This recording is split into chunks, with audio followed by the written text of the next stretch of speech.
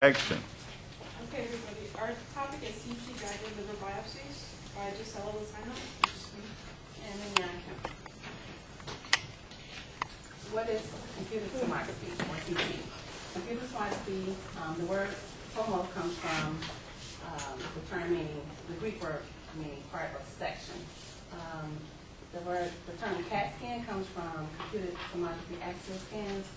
Uh, CT was actually discovered in the early 1970s by Alan Cormack and Godfrey Hounsfield. Uh, the first CT was done in England October 1st, 1971, and it was of a head. Um, CT actually is the process of creating cross-sectional tomographic planes of the body, and um, the CT scanner actually sends the pulses through the body, and it usually lasts less than a second. Some of the most common procedures are head, chest, and abdomen.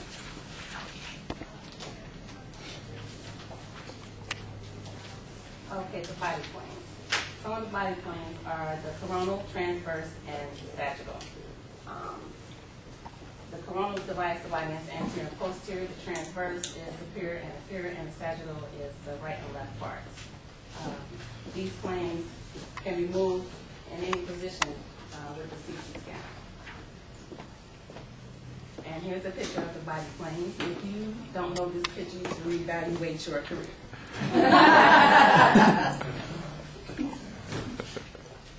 Okay, the components of the CT um, are the gantry, which is the part that houses the tube, the cooling system, and the detector assembly, and the data acquisition center system, I'm sorry, and the computer, and the operator console, and the patient table. The gantry, well, here's the actual picture of the CT suite. This is the gantry and the table, console, and the computer. Um, what happens during CT is the patient's lying on the table and the table slowly moves through the gantry and the x-rays are taken. Um, Mr. Technologist sets on the console, the table moves in slowly, stops, and goes and takes pictures as it goes in and out. To mention one thing, actually, the CT machine is composed of many different, well, there's about at least, on average, four x-ray tubes inside the CT machine. But more advanced CT machines have more than four x-ray tubes inside. So it's not just one tube, like we have an x-ray, it's. CT has more x-ray tubes. Okay, the pictures that are taken are thin slices of uh, body parts, and they come out onto the console as three dimension.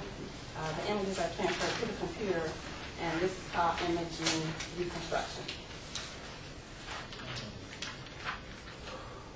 So CT basically is done in three steps. You scan the patient, which is the data acquisition, you process the data, which is image reconstruction, and you display the image. So I brought um, a basic CT scan of the abdomen, which is your class. Which is right here.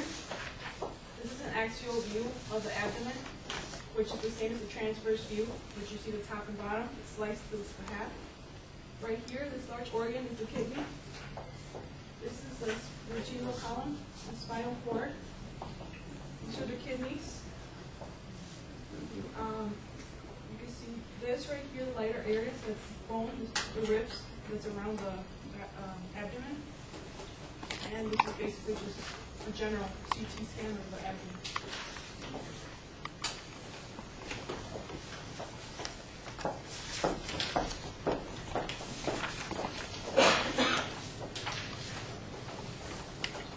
So there are many different exams that we can do with CT. The procedure that we chose was liver biopsy. So basically, a liver biopsy procedure is a procedure in which a thin needle is inserted into the liver to obtain a tissue sample or um, a liquid sample from the needle, from the liver that can uh, be abnormal.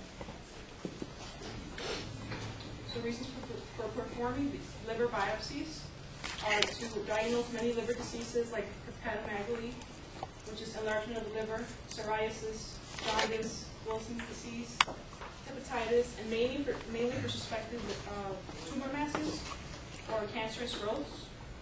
Biopsies are often performed to uh, identify abnormalities in liver tissues after other procedures have failed to show clear results.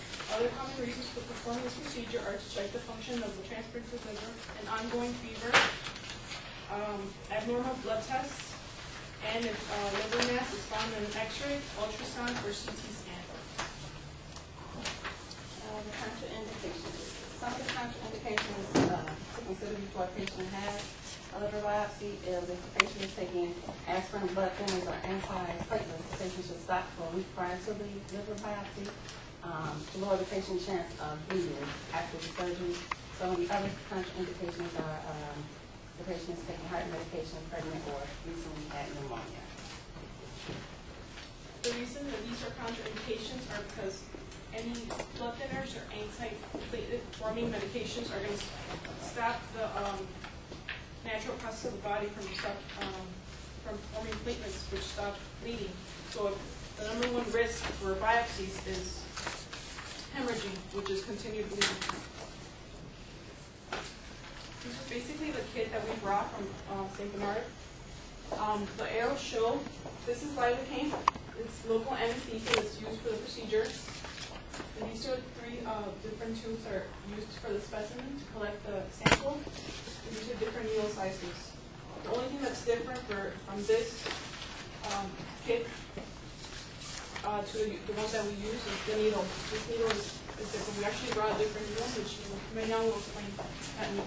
Okay, uh, this is a nineteen and a twenty-two gauge, um, two of the needles that, um, are most commonly used. The nineteen, well, the twenty, the nineteen, and eighteen are usually used for collecting fluid, whereas the fourteen gauge is, um, used for the biopsy tumors. The ones that we brought are 19 gauge and 22 gauge. These are used for the liver. And this picture down here just shows the different, um, needle and the different tissue size that it will, um, produce once you use that needle. So you have different sizes for the different sizes of needles. So, okay, let's talk about the procedure. Basically, this procedure is not a very complicated procedure. It's not a surgical procedure per se, because it's not as invasive as surgery would be. It's generally about 15 minutes to 30 minutes. Um, how it works is first, the doctor must obtain consent from the patient. Once the patient agrees to the procedure, a surgical sterile field must be created. Uh, Once they uh, clean the lower right, they- oh, first a CT scan of the liver will be done. So the doctor will find a, a spot where he will insert the needle, where he sees like there is some abnormal growth. So he does a CT scan to localize the spot. He can- He uses CT um, guide the needle into the lower, between the lower right ribs to obtain tissue sampling. Uh, he will mark that spot, and he will use CT to keep putting the needle inside. Once this, uh, the needle's inside, he will use, uh, he will have to localize the tip of the needle to make sure that no other organs are damaged when the needle goes in.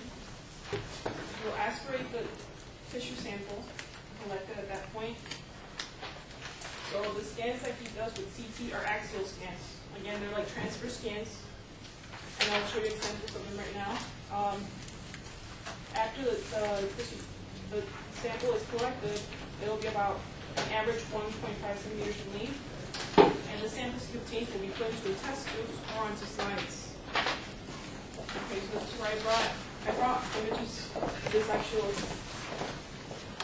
exam here. So over here is just the CT axial scan before the procedure, the needle's inserted. Right can start seeing the needle going into the liver, and it progresses until they remove the tissue.